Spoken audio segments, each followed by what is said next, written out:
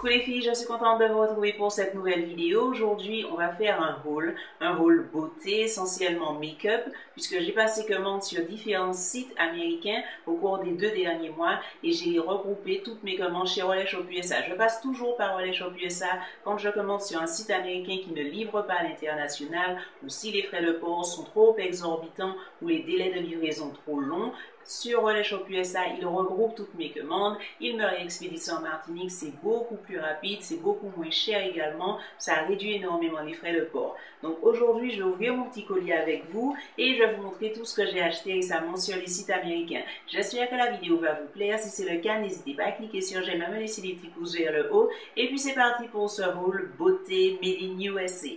Je vais commencer par les achats que j'ai effectués sur le site de maccosmetic.com. Je me suis acheté des fards à paupières puisque sur le site américain, les fards en refill comme ça, en recharge, ne coûtent que 6 dollars. En Martinique, on ne peut pas les acheter en recharge, il y a uniquement les godets et ils font aux alentours de 19-20 euros l'unité. Il y a ça quelques temps, je m'étais acheté une palette de fards comme ça chez MAC, euh, une palette de fards vide et au fur et à mesure, euh, je la remplis. Là, c'est une palette que je vais composer uniquement avec des tons neutres. Donc aujourd'hui, ce sont encore des fards neutres que j'ai achetés. Euh, j'ai d'abord pris la teinte Rule, c'est un orangé, c'est un fard mat. Beaucoup utiliser ça juste au-dessus du creux de paupière pour réchauffer un petit peu les looks. Et en plus, comme je porte souvent du doré, je trouve que ça se marie assez bien. J'ai pris également la teinte Brown Script. C'est un marron un peu rouge du genre euh, Coco Bear de chez Makeup Geek. J'ai le Ground Brown. Il me manquait un marron foncé comme ça, un marron bien riche. Donc euh, voici le fard Brown Brown. Il est aussi mat. J'ai pris également la teinte bronze. Comme son nom l'indique, c'est une sorte de doré bronze. C'est un fard irisé. Et puis j'ai pris également le fard Saddle, c'est un marron moyen, un marron mat que je vais utiliser essentiellement dans le creux de paupière, je pense. Je l'ai acheté par rapport à Corinne. Corinne Mia, c'est une youtubeuse belge que je regarde. Je vais vous mettre son lien en barre d'infos. Et souvent, euh, je sais que c'est son go-to fard euh, de transition. À chaque fois qu'elle fait les make-up, elle aime bien utiliser Saddle dans le creux de paupière. Donc je vais voir ce que ça donne sur moi. On est à peu près de la même teinte, je pense. Donc euh, ça devrait marcher. Je vous mets le lien de Corinne en barre d'infos. Donc voilà, si j'ai oublié, n'hésitez pas à me rappeler ça dans les commentaires, ça m'arrive d'oublier. J'ai pris également la MSF Natural en teinte d'arbre. Je vous ai parlé de cette poudre euh, je ne sais plus si c'était dans mes produits terminés ou dans, le time, je pense, que j'ai fait récemment sur mes produits de maquillage préférés. Et ça, c'est mon bronzer préféré de tous les temps. Alors, ce n'est pas un bronzer proprement parler, c'est une poudre de finition, mais je l'utilise en bronzer. C'est la teinte dark. Elle est un peu plus foncée que ma carnation et j'aime énormément utiliser ça ben, pour faire le bronzer, tout simplement. Alors, c'est une poudre qui est légèrement satinée. Ce ne sont pas des paillettes, ni même des nacres. Je ne sais pas comment vous expliquer. Ça donne simplement un reflet naturel à la peau. Je n'ai pas trouvé la teinte exacte qui corresponde à l'ensemble de mon visage, mais Dark, c'est légèrement plus foncé. C'est un marron un peu plus rouge et j'aime bien l'utiliser en bronzer sur les contours du visage. Ça donne vraiment euh, l'effet d'un bronzage naturel quand on sort de la plage, que la peau est légèrement satinée. Donc, euh, voici la MSF en teinte Dark. Je me suis également acheté un rouge à lèvres. Ça fait longtemps que je n'avais pas acheté de rouge à lèvres MAC. C'est une teinte, euh, je pense que ça fait partie des nouvelles teintes qu'ils ont sorties. Ça s'appelle Lust Extract. Ça un fini mat. Et voilà à quoi ressemble la couleur. Donc c'est un bleu foncé, un bleu violacé, un indigo, voilà. C'est un mélange entre bleu et violet, mais très très très foncé. Et je sais pas, je n'avais jamais vu. Waouh, la couleur est tellement belle. Donc regardez ce que ça donne. Oh, la teinte est magnifique. La teinte est magnifique. C'est typiquement le genre de couleur que je porte avec une simple wing de liner sur les yeux, des fossiles et c'est parti. Ils ont dit que c'est un fini mat, mais je trouve que c'est quand même légèrement satiné par rapport aux autres mats de MAC. Mais enfin voilà, la couleur Lust Extract. Et puis comme d'habitude chez MAC, j'ai pris un petit échantillon de mascara. C'est le Zoom Fast Black Lash. J'aime bien ce mascara. J'en ai déjà euh, plusieurs échantillons comme ça. La brosse est fine, les petits poils sont courts et ça me permet euh, vraiment de mettre du mascara sur les cils du bas sans m'en mettre partout, sans me faire des taches. En plus, les mascaras de MAC sont bien noirs, ils tiennent très longtemps. Et puis j'ai passé également commande sur le site de Target.com. Donc c'est le site des supermarchés Target. On trouve énormément de choses sur ce site, notamment du maquillage drugstore et le site livre à l'international, mais les frais de port sont ridiculement élevés. Alors pour ces quatre produits-là, j'en avais pour 30 dollars. Les frais de port s'élevaient à 60 dollars, puisqu'ils font uniquement de la livraison par DHL. Alors bien entendu, j'ai préféré passer par Relais Shop USA. La livraison euh, sur le sol américain est gratuite au-delà de 25 dollars, donc je n'ai rien payé pour me faire expédier ça chez Relais Shop USA. Et ensuite, j'ai payé les frais de port normaux sur Relais Shop. Il me semble, quand j'ai mis euh, ce colis-là dans mon panier, ça me faisait 10 ou 12 dollars. Donc comparé aux 60 dollars que j'aurais pu payer euh, en me faisant livrer directement par Target, vous voyez la différence. Donc, je me suis prise deux concealers et deux fonds de teint. J'ai d'abord pris euh, le fond de teint de L'Oréal, le Infaillible Pro Glow. Il existe une version Pro Matte et une version Pro Glow. J'ai décidé de prendre celle-ci, même si j'ai la peau grasse, euh, tout simplement parce que en ce moment, j'aime de moins en moins les fonds de teint à fini mat. Je ne sais pas pourquoi tous les fonds de teint mat que j'ai, je les mélange systématiquement avec des enlumineurs de teint. J'apprécie de plus en plus euh, l'effet un peu satiné sur la peau. Je ne sais pas, je trouve que c'est plus joli tout simplement. Et les revues que j'avais vues sur le Pro Mat franchement, j'ai trouvé que ça avait l'air un peu sec, un peu kiki. Donc, je vais tester le Pro Glow. Je l'ai choisi en crème, euh, je l'ai choisi en teinte 211 crème café. Donc, je vais vous en reparler. Je vais tester ça. Et puis, j'ai pris également le fond de teint de Maybelline, le Fit Me que j'ai choisi en teinte Toffee 330. C'est également un fond de teint qui a un fini dewy. Il y a deux versions, le Matte and Poreless et le Dewy Smooth. J'ai préféré prendre cette version-là pour les mêmes raisons. Donc, je vais tester euh, ces deux euh, fonds de teint drugstore avec un fini dewy. On va voir ce que ça donne sur ma peau. Et puis les deux concealers que j'ai achetés sont tous les deux de Maybelline. J'ai d'abord pris le Fit Me que j'ai choisi en teinte médium. La teinte m'a l'air hyper claire comme ça. On va voir ce que ça donne. Mais au swatch comme ça, ça m'a l'air vachement clair. À chaque fois que je dois commander une teinte de fond de teint de concealer, je prends les mêmes teintes que les filles utilisent dans les vidéos. Et les filles qui faisaient du NC45 chez MAC, elles utilisaient euh, la teinte médium. Mais franchement, là, je suis surprise. Je trouve que c'est hyper clair. Enfin bref, on va voir ce que ça donne.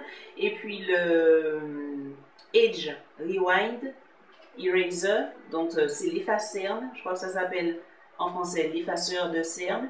Euh, j'ai pris la teinte Neutralizer.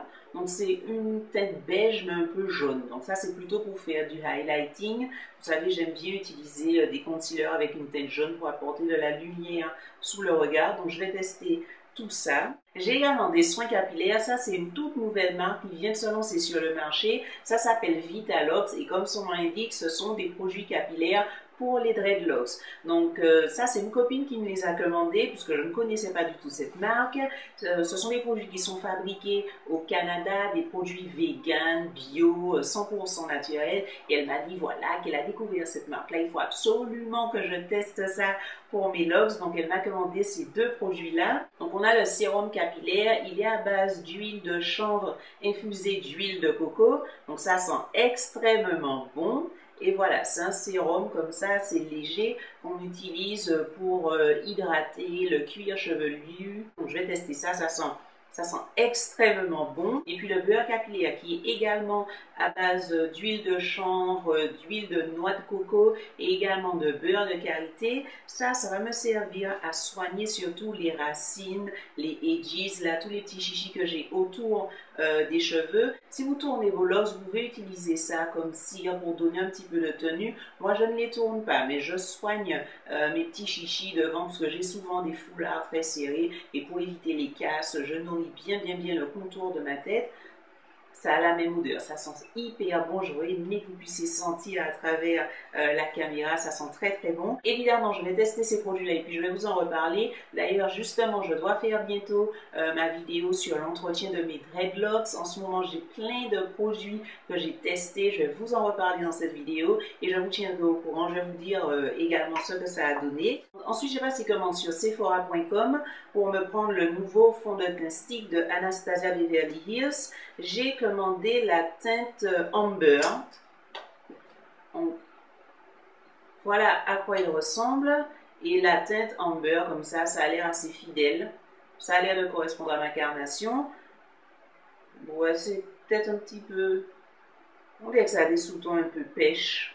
Je sais pas trop, je vais voir ce que ça donne. Dites-moi si vous voulez, je vous fasse une revue ou alors une first impression, euh, une vidéo où je l'applique. Je passe toute la journée avec pour vous donner mes premières impressions sur le fond de teint. N'hésitez pas à me dire ça. Donc c'est la teinte Amber que j'ai choisie. Bien sûr, je me suis prise également la nouvelle palette d'Urban Decay, la Naked Ultimate Basics. J'adore les fards mat, j'adore les fards neutres, donc évidemment, euh, je ne pouvais pas passer à côté. le packaging de la palette est vraiment très joli on dirait du, du métal. En fait, ça donne une impression d'explosion, euh, de, Big Bang. Très joli. Par contre, c'est du plastique. Hein. C'est... Au toucher, c'est pas très agréable. C'est super léger. On dirait du plastique du... Ouais. Ça sonne un petit peu creux, euh, mais les fards à l'intérieur sont très jolis. C'est ce qui est le plus important. Donc, on a uniquement des fards mat, 12 teintes. Hmm, ils sont bien pigmentés en plus. De très très jolies couleurs. Ah ouais, ils sont bien pigmentés et je trouve que la texture est même plus, plus douce, plus fine que les fards mat qu'on a dans les, dans les palettes Nikki. On de très très très jolies couleurs, je pense que ce sera parfait pour la saison. Évidemment, je vais vous faire un tutoriel avec cette palette, même pas besoin de demander. Et puis comme d'habitude sur Sephora.com, on a de beaux échantillons à tester. Donc là, c'est une gamme de soins de Caudalie. Euh, on a le sérum éclat anti-tache Vino Perfect, la crème sorbet hydratante Vino Source et le masque Instant Detox. C'est un masque qui resserre les pores et qui nettoie en profondeur pour tout type de peau. Donc je vais tester cette mini routine et puis je vais vous en reparler. On termine avec les produits pour les lèvres. Je me suis acheté trois nouveaux liquid lipstick, des matte lip paint de chez Color Dream. Donc il n'y a pas longtemps, je vous ai parlé euh, du Cherry Blossom. C'est le rouge foncé que j'aime énormément porter en ce moment. Et bien du coup, je suis retournée encore sur le site de Color Dream et je me suis acheté encore trois nouveaux liquid lipstick. Voici les trois teintes que j'ai pris? Euh, cette espèce de fuchsia violacé, fuchsia prune qui s'appelle Olala. J'ai également le Electric Rain, c'est un orangé très très vif. Et puis le Ivy, c'est un vert, un vert sapin, un vert foncé. J'aime beaucoup la formule des Color Dream. Ce sont des liquides lipsticks qui ont une fini complètement mat, mais qui ne dessèchent pas, qui ne s'effritent pas sur la peau. Les couleurs, en plus, je les trouve très jolies. Jusqu'à maintenant, j'avais essentiellement des couleurs très foncées et des nudes un peu gris, marronné, etc. Donc là, ça me donne euh, de nouvelles teintes un peu plus vives. Euh, je dois en avoir maintenant une bonne dizaine de rouges à lèvres comme ça de Color Dream. Si vous voulez, je vous fasse un lip swatch, enfin des lip swatch de toutes les teintes que je possède. N'hésitez pas à me demander ça. Et quand j'ai commandé, je les ai payés aux alentours de 14 dollars, quelque chose comme ça, puisque j'ai utilisé un code promo que j'ai trouvé sous une vidéo américaine. Je crois que c'était le code GLOWMAMA, un truc comme ça. Je vais vous l'écrire en, en, barre d'infos. Et puis on termine avec la commande Color Pop. J'ai acheté évidemment pas mal de produits pour les lèvres, mais également un highlighter, puisqu'ils ont sorti de nouvelles teintes de highlighter. Euh, je crois qu'ils ont sorti quatre teintes euh, dans les tons un peu dorés, assez naturels sur la peau. Là, j'ai la teinte Candyman. C'est un doré bronze, très très très joli. Il a presque un effet un peu, un peu rose gold sur la main comme ça sur le swatch. Je ne sais pas si vous verrez très bien. Parmi les quatre nouveaux highlighters, il y a deux teintes plus claires que celle-ci et une teinte plus foncée pour les peaux plus riches, plus chocolat. C'est un doré un peu bronze. Et je pense que ça ira parfaitement avec les peaux les plus foncées. Et après ça, ils ont sorti encore de nouvelles teintes de highlighter, mais genre euh, bleu, jaune, violet. J'ai préféré ne pas tester parce que j'aime bien les highlighters, voilà, toujours avec des sous-tons euh, dorés, euh, des trucs qui se marient bien avec la carnation. Au niveau des lèvres maintenant, j'ai pris d'abord deux Lipistics, donc deux rouges à lèvres. J'ai pris d'abord la teinte Dukes. C'est un Lipsticks qui est un fini mat. Ça, ça fait partie des nouvelles teintes qu'ils ont sorties pour l'automne. Donc voici Dukes. C'est un prune très très très foncé. Magnifique, exactement le genre de couleur que j'aime porter. J'ai pris également la teinte Elari. C'est également un Lipsticks à fini mat.